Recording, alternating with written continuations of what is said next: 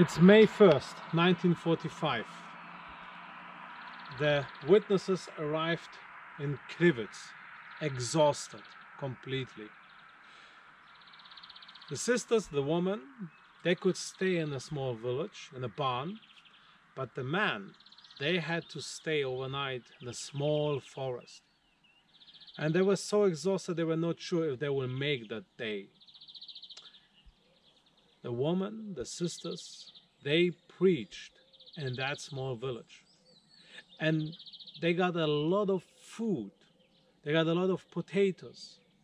So they could make a good soup, a needed soup, and bring it to the small forest close to Crivitz, to the brothers, so they could eat, get energy, and make it for the next day.